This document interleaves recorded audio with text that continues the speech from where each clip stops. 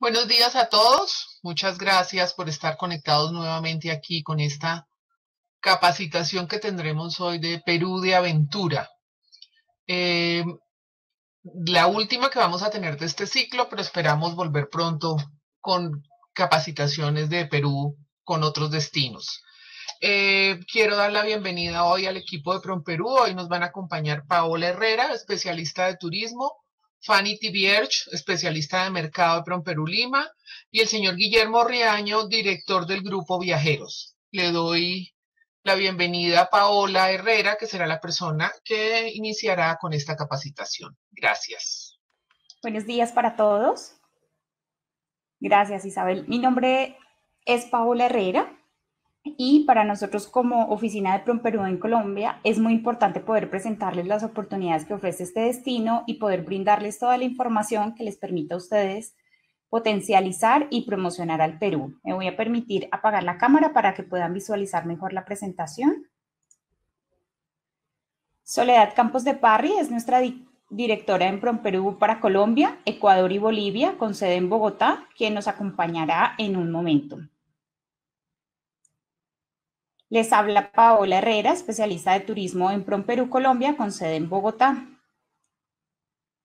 El día de hoy nos acompaña también Fanny Tibierch, que es la especialista eh, de turismo receptivo en Prom Perú, Lima.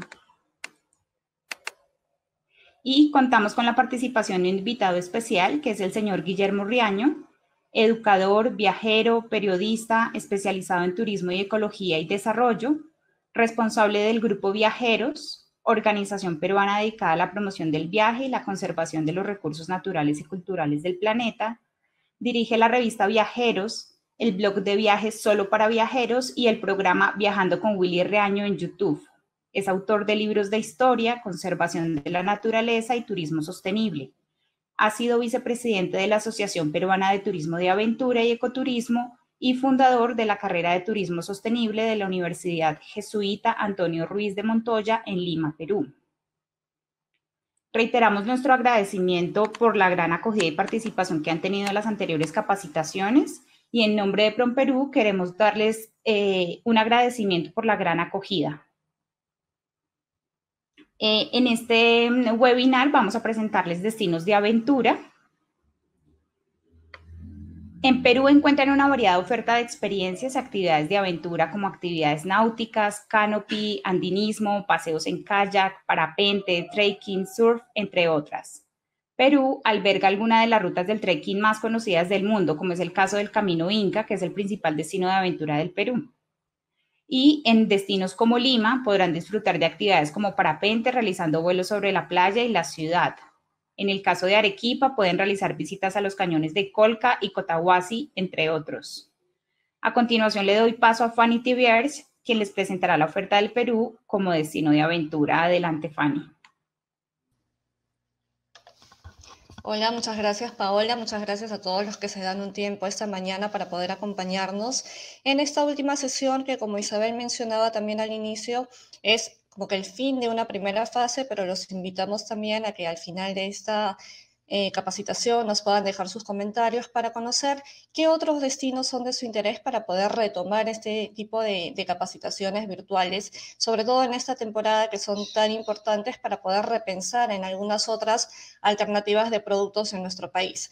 Voy a apagar la cámara a fin de que el video o la presentación pueda fluir mejor y Voy a centrarme inicialmente en la oferta de Lima y Arequipa para luego dar pase a Guillermo, quien nos va a comentar un poco más acerca de toda su experiencia en el destino de Cusco.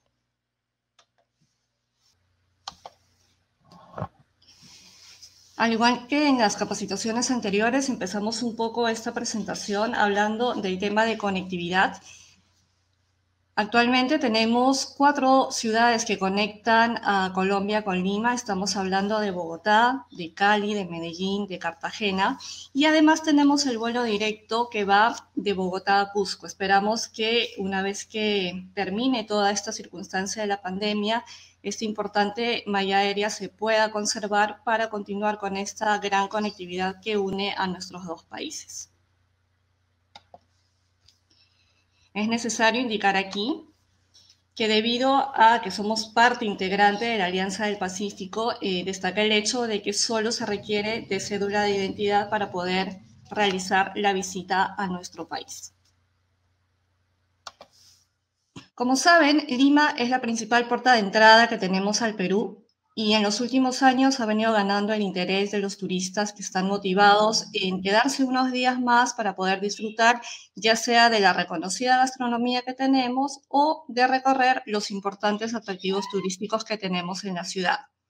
Aquí me detengo para poder hacerles esta pregunta. ¿Qué alternativas de turismo de aventura brinda Lima? Los invito a que nos puedan dejar sus comentarios a través del chat para poder saber un poquito más si ustedes ya han practicado quizá alguna actividad en Lima o si están interesados en hacerlo. ¿Qué más podemos decir de Lima? La ciudad destaca por ser la única capital latinoamericana que está ubicada a orillas del Pacífico, a unos 154 metros sobre el nivel del mar, lo cual la va a convertir en un destino ideal para la práctica de distintas actividades de aventura. En cuanto al clima, el verano se da aquí entre los meses de diciembre a abril, mientras que el invierno eh, básicamente puede haber ligeras garúas entre los meses de junio a septiembre. Como vemos, este destino invita a realizar diferentes actividades vinculadas a atractivos de historia, cultura, gastronomía, aventura, que es un poco el foco de la presentación en esta ocasión. Como vemos en esta diapositiva, toda la ciudad está enclavada sobre el acantilado de la Costa Verde y esta es la zona ideal donde se presenta una diversidad de alternativas para la práctica de deportes de aventura, como es el caso del parapente.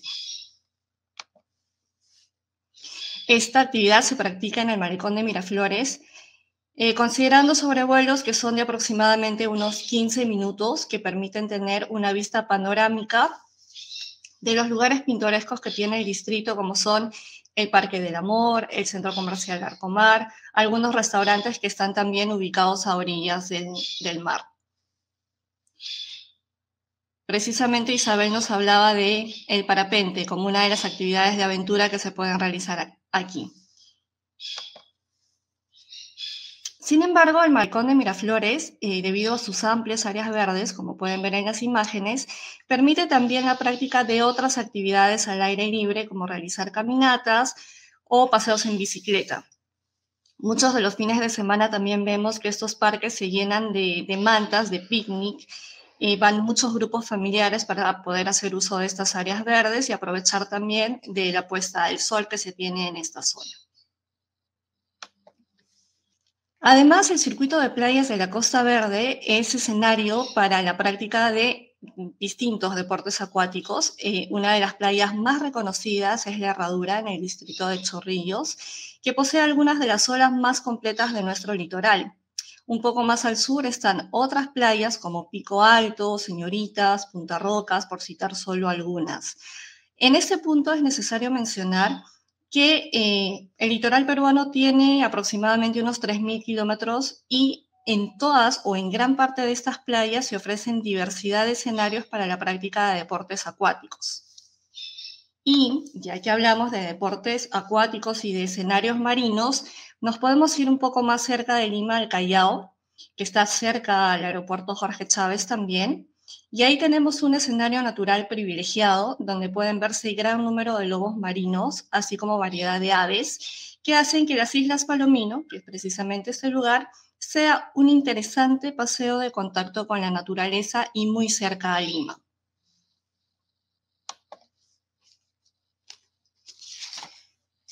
Dejamos la costa, en este caso nos vamos a dirigir a los Andes peruanos hasta la ciudad de Arequipa, y aquí me voy a detener nuevamente para preguntarles qué actividades de aventura pueden realizarse en Arequipa. Si pueden dejarnos sus comentarios o quienes ya han estado en la capacitación anterior del día 19, hemos podido tocar también un poco de las características de este destino, pero en esta ocasión nos vamos a enfocar básicamente en aquellas actividades de aventura que ofrece este, esta región. Los invito entonces a dejarnos sus comentarios a través del chat, por favor. Pues bien, la ciudad de Arequipa se ubica a 2.335 metros sobre el nivel del mar. tiene un clima templado, con lluvias entre enero y marzo. Respecto a la conectividad, Arequipa cuenta con vuelos diarios desde Lima, es más o menos una hora de viaje, y otros destinos como Cusco, Juliaca y Tacna, con un promedio de 30 minutos de viaje. Además, se cuenta con servicios regulares de buses desde Puno, son aproximadamente 5 horas de viaje, unos 294 kilómetros, también desde Cusco, con 9 horas de viaje, e incluso desde Lima, por si tienen pasajeros a los que les interese, por ejemplo, hacer un viaje un poco más largo, pero más económico también, son 16 horas de viaje de Lima hasta Arequipa. Adicionalmente a ello existe el tren Andean Explorer que cubre la ruta de Cusco, pasa por Puno y llega a Arequipa en programas que son de tres días. Entonces, el tema de conectividad es bastante importante. Arequipa, de hecho, es uno de los principales destinos en, en la zona sur del país y es por eso que se cuenta con tan buena conectividad.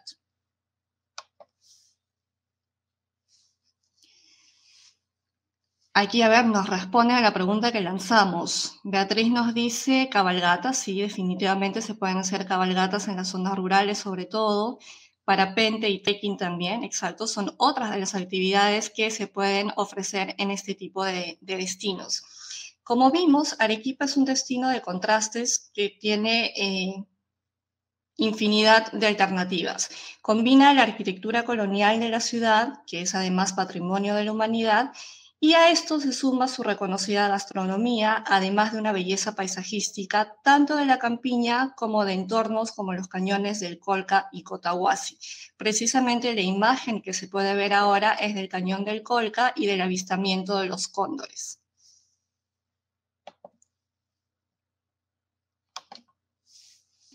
Ahora nos vamos al tema del Valle de los Volcanes. Quizá Muchos de ustedes ya han escuchado que se dice que Arequipa es la ciudad blanca y esto se debe a que la mayoría de edificaciones se ha construido en base a una piedra de origen volcánico que es el sillar. Y el sillar proviene precisamente de volcanes como el que vemos aquí, que es el Misti, que es un poco el que, el que corona la ciudad con sus 5.825 metros sobre el nivel del mar. Sin embargo, hay otros volcanes igual de importantes como lo son, por ejemplo, el Chachani o el Pichu Pichu. Además, tenemos todo un valle denominado el Valle de los Volcanes, que tiene 36 conos volcánicos que van entre los 1.700 y los 4.300 metros sobre el nivel del mar. Y básicamente se puede hacer distintas excursiones en esta zona. Una de ellas, por ejemplo, eh, se puede ascender hasta la cima, hasta la cumbre del Misti, en un programa que es de dos días, una noche. Luego nos vamos al Valle del Colca, que destaca por tener uno de los cañones más profundos del mundo, con más de 1.160 metros de profundidad. Como dijimos en la anterior eh, capacitación también, es dos veces más alto que el Gran Cañón del Colorado en Estados Unidos y de ahí un poco el tema de su importancia. Se ubica a tres horas de Arequipa, a 151 kilómetros. Y la ventaja de esta zona es que tiene un gran número de poblados que ofrecen distintos tipos de actividades. Hay también miradores que están estratégicamente eh, ubicados perdón, para ver el paisaje, para avistar el vuelo de los cóndores y también permite realizar distintas actividades de la mano de emprendimientos de turismo comunitario. Ya en la sesión anterior también vimos un poco más a detalle cuáles son todas estas actividades que se pueden ofrecer en la zona de la mano de poblaciones como Cibayo, Yanque y Coporaque, que entre una de las actividades, por ejemplo, vinculadas al tema de turismo de aventura, ofrecen el Yamatrek, que en este caso consiste en hacer una caminata, que puede ser por un sendero corto o uno de dos o de tres días, dependiendo del programa que deseen, pero en este caso teniendo la compañía de llamas eh, durante las caminatas. Ahora, cabe indicar que esta es una práctica ancestral que se usaba por los, por los incas, que además de ser pintoresca, evita la degradación de los caminos, ya que la pisada de los camélidos genera mucho menos impacto en el entorno en relación, por ejemplo, con los caballos. Entonces, es importante que tomen en cuenta también este tipo de conceptos más vinculados a, sostenibilidad que se pueden encontrar en este tipo de poblaciones en el interior de Arequipa. Esta es un poco la imagen, ya que hablábamos del Yamatrek. Y en esta zona tenemos también eh, Cotahuasi, que está constituido por dos zonas bastante diferenciadas, tanto el poblado como el cañón. Eh, de hecho, esta zona, como pueden ver, ofrece un paisaje excepcional, alberga otro de los cañones más profundos que tenemos en el mundo. Y en la cercanía se pueden ver andenerías que tienen origen prehispánico, es además escenario ideal para la práctica de trekking o de caminata, para hacer bicicleta de montaña. El tema de cabalgatas también se puede hacer. Se ubica un poco más alejado de Arequipa, eso sí, a 375 kilómetros o unas seis horas y media en bus aproximadamente. Ahora vamos a pasar a otro de los destinos de la zona sur, que en este caso colinda con Arequipa, y hemos hablado del tema de conectividad que, tenemos entre estos dos destinos también. Y nuevamente, aquí lanzamos la pregunta, ¿qué alternativas de turismo de aventura brinda Cusco? Probablemente han escuchado en este caso de más alternativas, así que los invito a que puedan dejarnos sus comentarios a través del chat también. Sin dudarlo, el principal icono turístico eh, del destino Cusco es Machu Picchu y así como este destino tenemos varias alternativas más de, de, trekking que resultan ideales para conocer la amplitud natural y cultural que tiene el Cusco. La ciudad de Cusco cuenta con un clima semiseco y frío y la temporada de lluvias inicia en noviembre, concluye en marzo Respecto a la conectividad, Cusco cuenta con vuelos diarios desde Lima, una hora 30 minutos aproximadamente, desde Arequipa también, en una hora 5 minutos aproximadamente también. Recibe además conexiones internacionales aéreas desde Santiago de Chile en 3 horas 30 minutos de vuelo y desde Bogotá en 3 horas 20 minutos. Los servicios de buses pueden tomarse ya sea en Lima, son 21 horas de recorrido, en Arequipa son aproximadamente 10 o en Puno 7 horas y media. Además, se cuenta con conexión férrea en la ruta Puno-Cusco con 6 horas de trayecto o el servicio, como ya decíamos también en el caso de Arequipa, del tren de lujo Andean Explorer que recorre Arequipa, Puno, Cusco en un programa de 3 días, 2 noches, considerando el pernocte a bordo del tren.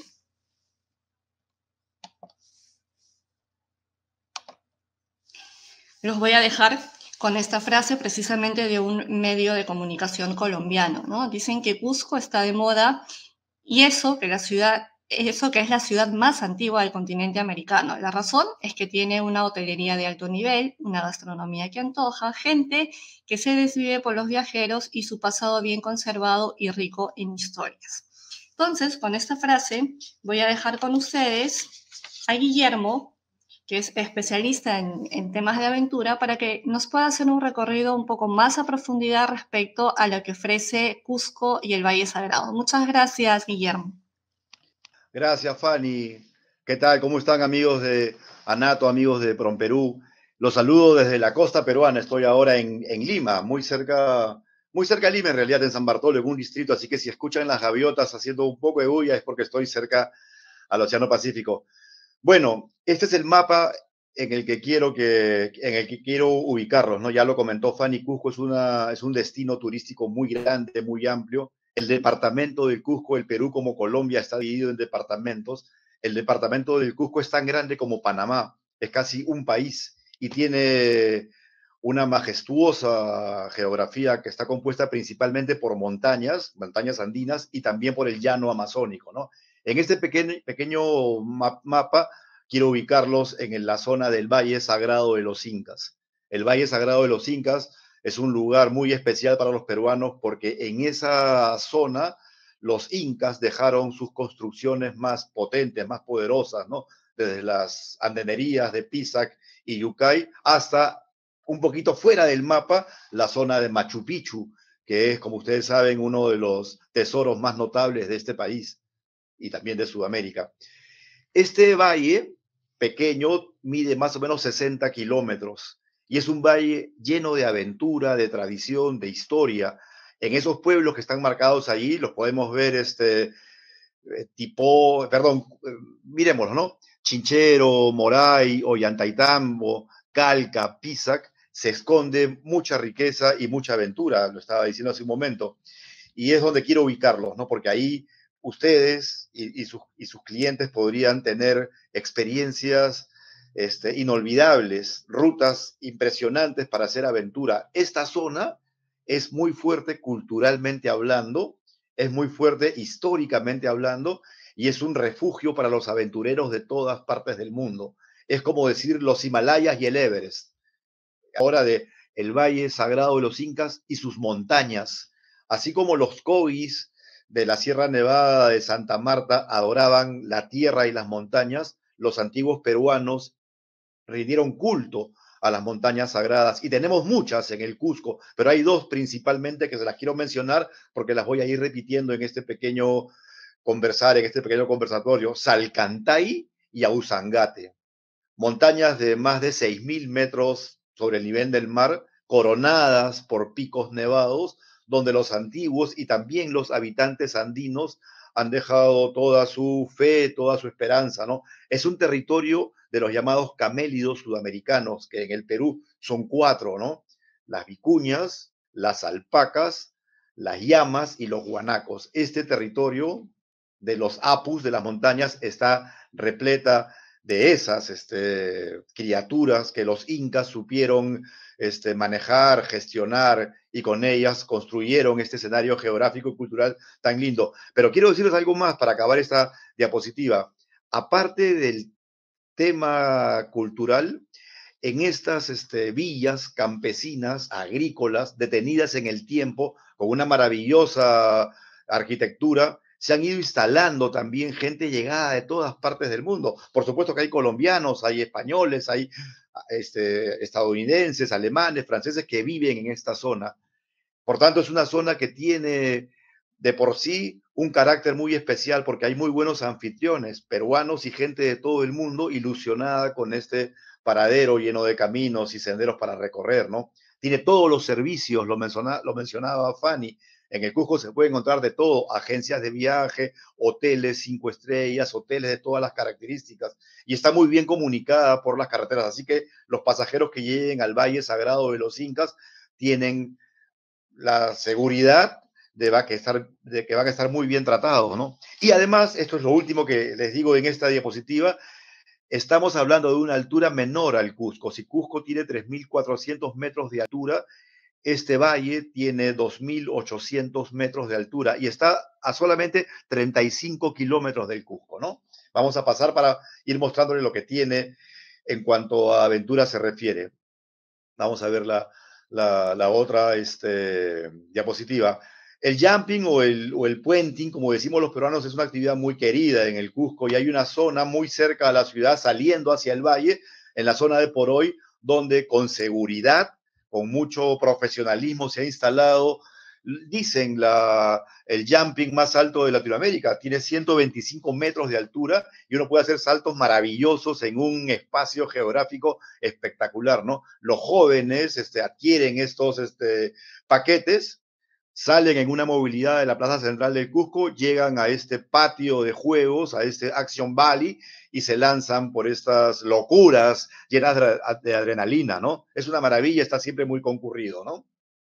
Pero no hay solamente jumping, hay otras cosas en, en, el, Valle Sagrado, ¿no? Cerca a la, localidad de Ollantaytambo se ha construido esta vía ferrata que además es un, un, este, un hotel colgado a 400 metros de altura en las rocas de la montaña frente al río Vilcanota, el río sagrado de los incas, donde los pasajeros pueden pernoctar en una cúpula, en una especie de domo de vidrio, viendo los apus. Los peruanos de antes y de ahora llamamos a las montañas sagradas apus y las reverenciamos. De hecho, hay fiestas que hasta ahora se practica como la del Coyuriti, donde cientos de miles de personas suben a adorar a las montañas, porque en el sincretismo entre lo español, lo católico y las creencias antiguas ha surgido esta fidelidad a los santos, a las montañas, ¿no? Cuando vengan ustedes al Cusco y al Valle Sagrado de los Incas, verán cómo el mestizaje cultural todavía está presente en sus rutas y en la fe y la esperanza de sus pobladores. Pero aquí en esta vía ferrata uno puede trepar con mucha seguridad 400 metros casi hasta el cielo y lanzarse en un canopy, ¿no? En un zip line para recorrer cerca de 2.800 metros entre las montañas. Repito, los operadores turísticos en el Cusco, especialmente en el Cusco, ofrecen totalmente garantía, ¿no? O sea, son prácticas muy cuidadosas del medio ambiente y sobre todo muy cuidadosas de la, de la seguridad de los pasajeros. Ario Ferri, que es un muchacho nacido en las montañas del Perú, ha construido este paradero para los más eh, adrenalínicos, ¿no? No cuesta mucho, hay compañías que operan el, este, la propuesta y, con seguridad van a gozar, ¿no? Esto es desde los ocho años hasta que el cuerpo lo, desee, ¿no? Es una, una garantía de belleza, ¿no? Repito, aventura, cultura, tradición e historia. Vamos a ver ahora otras cositas que, que tiene el Cusco, ¿no? El glamping en los Andes, como ustedes saben, mezcla lo que es la MUR con camping, ¿no? esto que los viajeros que hemos sido hace mucho tiempo jóvenes y salíamos con nuestra mochila, ahora con un poco más de, comodidades y de, achaques también, queremos tener ese contacto que, de jóvenes tuvimos con un poco más de comodidades. Y el clamping en los Andes es una oportunidad maravillosa en esta zona del Perú para visitar Salcantay, el Apu del que les hablé, la laguna que crece sobre su regazo, que es la, laguna Omantay. Y bueno, aparte de hacer eh, de glamping, se puede hacer bicicleta de montaña, ¿no? Ustedes los colombianos son fanáticos del ciclismo y el Perú ofrece, al igual que Colombia, miles de rutas que combinan también esfuerzo físico con cultura, ¿no? Todos estos valles, todas estas campiñas están llenas de pueblitos, de comunidades donde vive gente que habla quechua, en Cusco se habla mayoritariamente el quechua, el idioma de los incas, de los antiguos peruanos, de los antiguos andinos, ¿no? Hacer bicicleta en Maras, en Moray, en Tipón, en las cercanías de la laguna de Huaypo o de Upiray, o de Piuray es fantástico. Y hay para todos los este, tonos y estilos para iniciados y también hay downhills para gente de mucho recorrido. Yo siempre recomiendo, Peruvian Mountain Rides, que es una compañía seria que opera en la zona, pero hay muchas más, hay muchas más, y todas también con extremas medidas de seguridad, ¿no? Esto es para los colombianos una joya que creo este, merecen conocer porque los circuitos son variados, múltiples, y el contacto con la gente hace de la experiencia una experiencia superior, ¿no? Eh, eh, también hay eh, parapente, ¿no? Este es un nudo geográfico. Acá se unen tres cordilleras, es la cordillera andina, la del Vilcanota, la del Vilcabamba y la de, la de Paucartambo. Tres cordilleras todas con cerca de 400 montañas nevadas y en cada uno vallecitos llenos de ríos que fertilizan, que acrecientan el cauce del río Vilcanota, también llamado Urubamba, que luego cuando cruce hacia la montaña se va a llamar Ucayali y cuando se encuentre con los ríos colombianos, 800 kilómetros más al norte, irán formando el caudaloso Amazonas, ¿no? Este valle es el valle contiguo al famoso testimonio arqueológico de Machu Picchu, ¿no? Entonces, pienso que los viajeros colombianos tienen la oportunidad de conocer primero el Cusco, la capital arqueológica de América, luego el Valle Sagrado, el patrimonio cultural de la humanidad por UNESCO, y luego llegar a Machu Picchu, ¿no? Y los más avesados podrían lanzarse a encontrar la Amazonía, ¿no?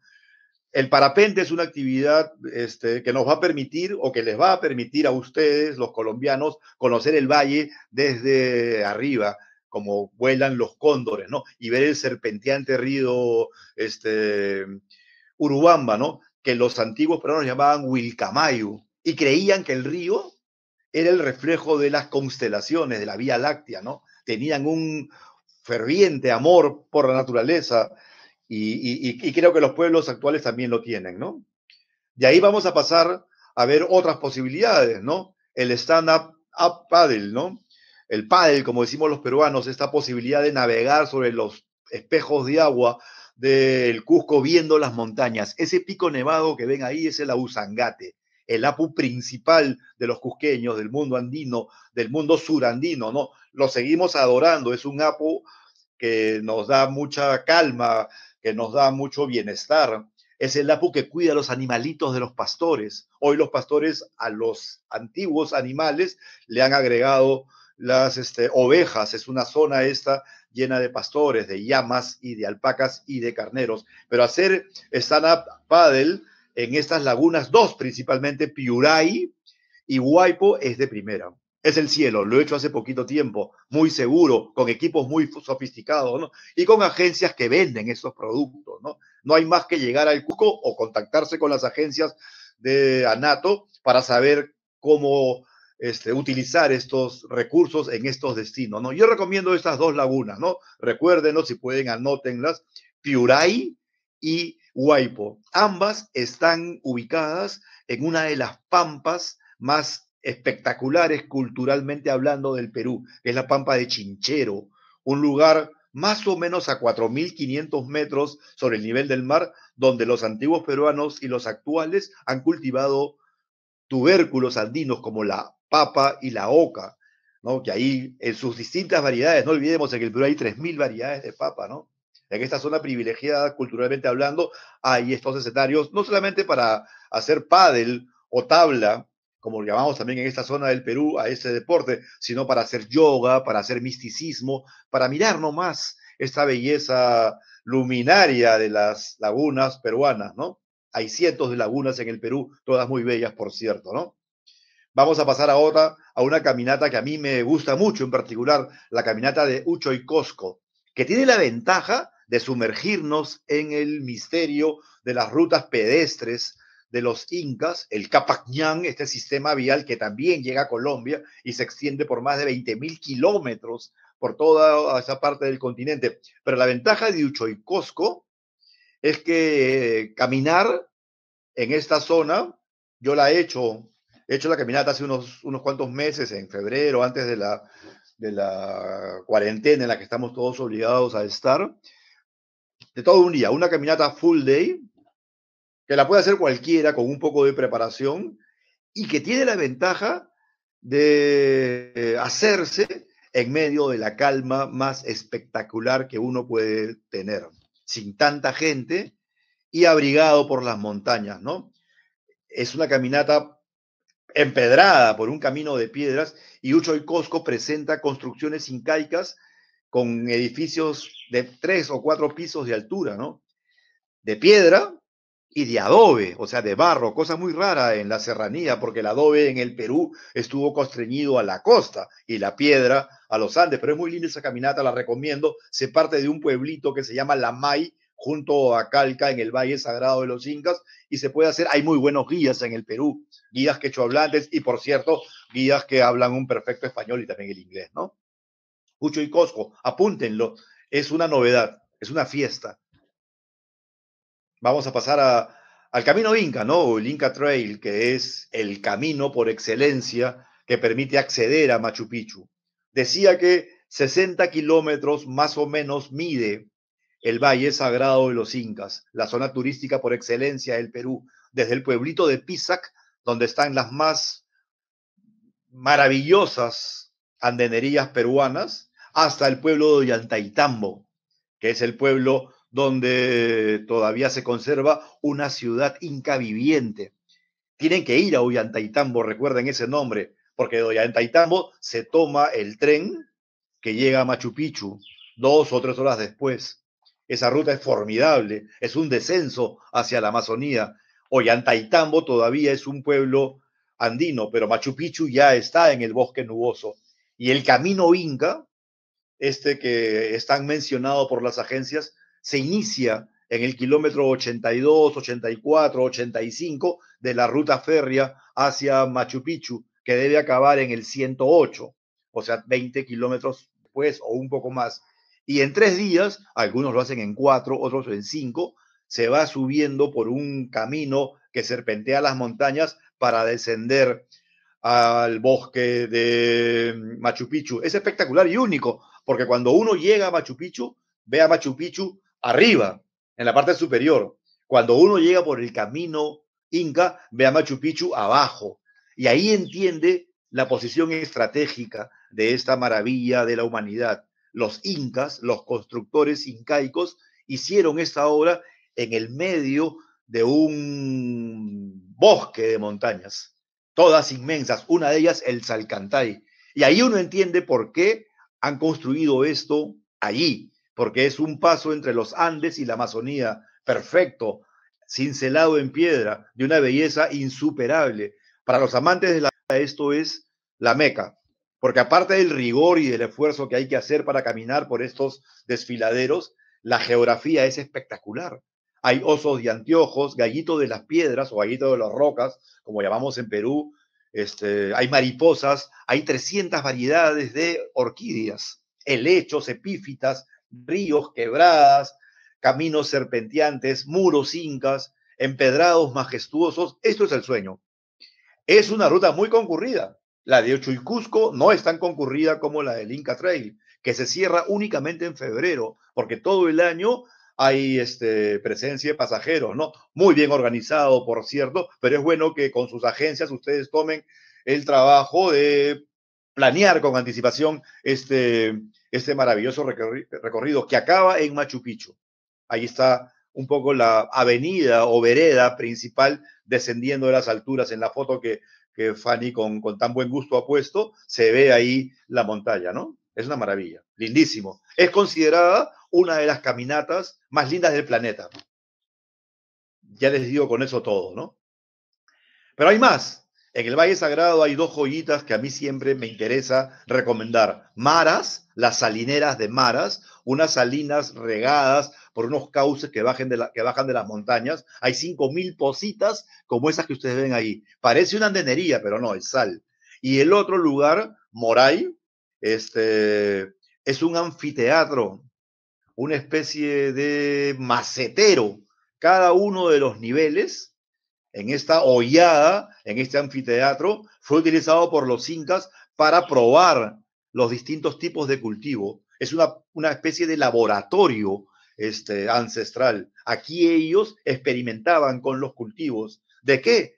De papa principalmente, de oca, de cañigua, de oyuco, de tantas maravillas que el mundo andino nosotros le hemos proporcionado al mundo, y, y también de coca la planta sagrada de las culturas prehispánicas, ¿no? Esta planta madre, ¿no? Todo lo que ven ustedes alrededor de estas dos, este, de estos dos destinos son montañas sagradas, ¿no? Estar aquí es estar en la historia de nuestro continente y estar en alguna manera en el sacrosanto este, Olimpo de los dioses antiguos, ¿no? Acá se camina mucho, pero se goza culturalmente, que es lo que yo quiero comentarles a ustedes, ¿no?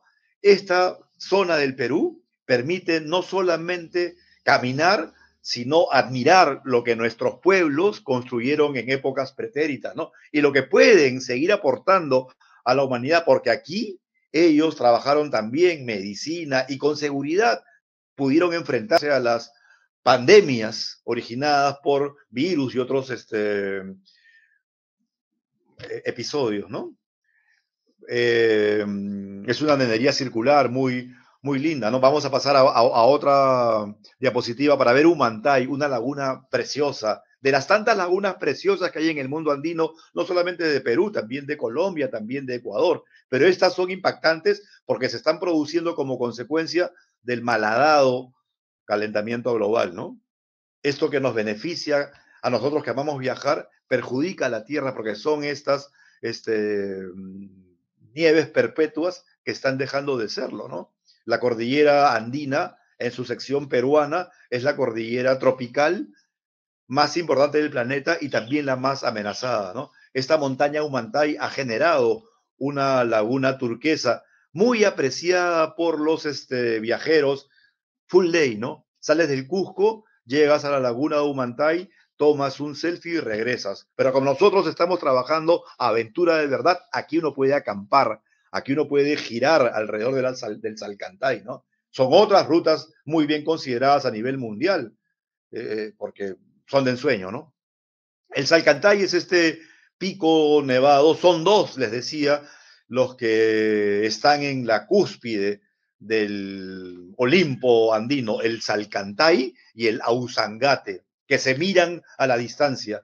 Son preciosos, ¿no? El Salcantay mide 6.271 metros de altura. Muchos escaladores que hacen Himalaya, que hacen Everest, vienen al Perú a escalar estas montañas, porque si bien son más pequeñas, son mucho más técnicas. Así que quien hace el Salcantay o, quien logra hacer cumbre en el Ausangate tiene con seguridad el camino abierto para ir hacia los 12, para los 8000 de que hay en, en, Asia, ¿no? Los 8000 que hay allá tan famosos. Esta montaña es preciosa, lindísima, embruja, pero por allá hay caminos. Hay una famosa vuelta al Salcantay.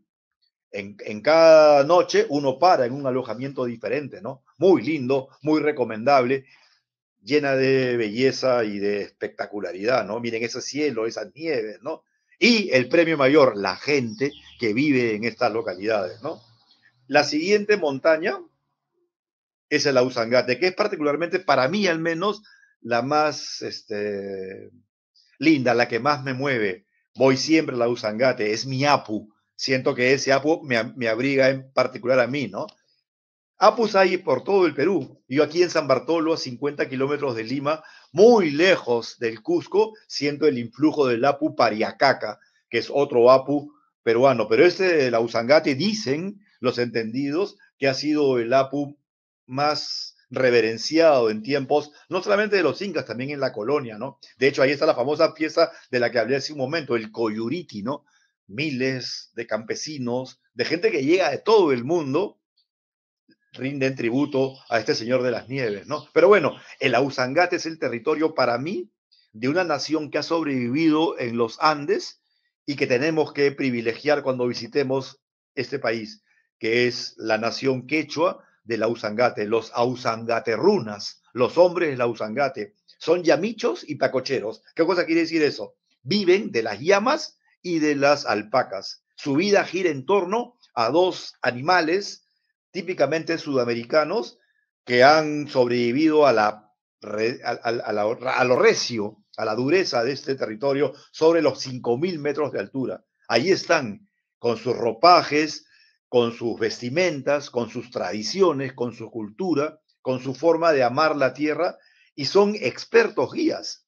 Yo he estado hace unos meses, les decía, en el Ausangate, con una niña de 15 años, hijo de dos pastores, que me llevó a ver un circuito donde hay 10 lagunas, todas espectaculares, todas turquesas, ¿no? Entonces aquí el viajero tiene la oportunidad de conocer este, el espacio geográfico que es maravilloso, excepcional, único, lunar. Creo que en Sudamérica no hay otro lugar así como este. Esto es fácilmente comparable con los Himalayas, lo repito, y además conocer a la gente local, ¿no? El Ausangate ofrece sin número de oportunidades para hacer turismo rural comunitario, turismo de comunidades, que está tan de moda y es tan valioso porque con nuestro dinero, para hablar un poco burdamente, premiamos el esfuerzo de estos peruanos, en este caso, que han privilegiado la cultura sobre otros desarrollos y están cuidando estas montañas. Son guardianes celosos de las montañas andinas. En la otra diapositiva podemos ver un poco más de la Usangate. ¿La podemos pasar, Fanny? este, hay alojamientos rurales y hay esta experiencia que yo la menciono porque es muy importante, es una mixtura entre capital privado y comunidades. Andian Lodge ha creado alrededor de la Usangate, del cono inmenso del Nevado, una serie de alojamientos para que los caminantes, después de 8, 10 horas de dura caminata sobre los 5.000 metros, tengan un cinco estrellas en el escenario maravilloso de estas montañas, ¿no? lo he hecho alguna vez y yo, que no soy un caminante tan extremo como otros, puedo decir que se trata de una de las caminatas más espectaculares que hay en el planeta. Se los digo con esa sencillez o rudeza porque estuve en ese viaje que hice la última vez con un caminante australiano que había hecho los 10 trips o trekking más importantes del planeta y me dijo, esto es esto es maravilloso. Aquí uno camina entre bofedales, estos grandes, estas grandes pampas en la puna que retienen el agua y puede ver vizcachas, puede encontrarse con pumas, puede ver este, hay un gato andino maravilloso que vive en estas soledades, pero puede ver un sinnúmero de animales que los antiguos peruanos adoraron, ¿no? Todo esto poblado por rebaños impresionantes de alpacas y de llamas, ¿no? Ahí vive el hombre y seguirá viviendo mientras tengan elementos para poder sostenerse, y uno de ellos es el turismo. Son comunidades dedicadas al turismo. Estas construcciones son propiedad de una empresa limeña y cusqueña con los comuneros, ¿no? De dos comunidades, la de Chilca y Josefina, pastores de llamas y alpaca, que ahora tienen un recurso más. En estas proximidades está la famosa montaña sagrada de Vinicunca, un ícono del turismo mundial ahora. Miles de pasajeros llegan todos los días a ver cómo las montañas de colores iluminan la vida de los que la aprecian, ¿no? Está muy cerca de este escenario. Recuérdelo, Ausangate los ausangaterrunas, los hombres de la Ausangate. Es increíble, pero a 30 minutos, 40 minutos, 50 minutos en carro, en auto, descendiendo hacia la Amazonía, estas montañas se trastocan en vegetación y una o dos horas después estamos ya en el llano amazónico, ¿no? Es precioso, es lindo, es un escenario ideal para la aventura, ¿no? Pasemos a la, última, que es Choquequirao, ¿no? Choquequirao es una construcción también incaica que ha permanecido oculta bajo el brillo espectacular de Machu Picchu. Está muy cerca, en la misma provincia cusqueña de Santa Teresa, en el límite con un departamento un poco más al norte que se llama Abancay. Cusco está rodeado de departamentos, ¿no? Es un, un macizo que queda al sur andino. Pero Choquequirao, dicen los entendidos, puede ser 10 veces más grande. O mejor dicho, ha sido 10 veces más grande que Machu Picchu. Solo el 30% está puesto en valor. Es maravilloso. Hay una caminata de 8 días, los que tengan más tiempo, entre Machu Picchu y este Choquequirao por las montañas, siempre iluminado por el mágico Salcantay. El Salcantay mira hacia Choquequirao y mira hacia el otro lado, digamos, Machu Picchu, ¿no? Fue descubierta, entre comillas, en el siglo XIX. También Hiram Bingham, el famoso descubridor científico, el descubridor moderno, siempre aclarando, de Machu Picchu en 1911, estuvo en Choquequirao. Es maravilloso, un bosque auténtico, lleno de vida, lleno de epífitas también, que se puede hacer y las agencias lo están vendiendo.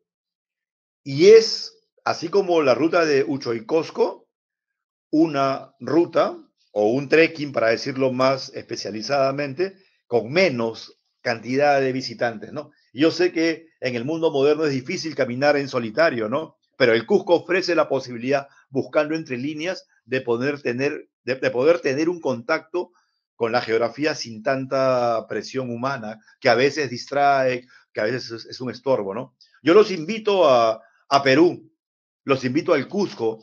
Es una ilusión siempre hablar de estos temas, se me escarapela la piel porque es de una belleza subyugante, ¿no? Un paisaje maravilloso que estamos en obligación de conocer y sobre todo de cuidar, ¿no? Ahora que, que volvamos a los caminos, tenemos que conocer esta zona. Gracias por, por la atención y estoy acá llano a las preguntas que ustedes quieran hacer. Siempre es un honor conversar con amigos tan lindos como los que he conocido en Colombia. Gracias. Muchísimas gracias, Guillermo, por toda la pasión que le has puesto a esta exposición. De hecho, nos ha permitido conocer mucho más de cerca y también, qué mejor que a través de tu experiencia, todos estos destinos eh, que ofrece, eh, que ofrece la región Cusco para quienes gustan del tema de contacto con, con, la naturaleza y el tema de aventura también. Vamos a poner un video corto de Choquequirao para que puedan tener una vista también de qué se puede visitar en esta zona y luego pasamos con las preguntas.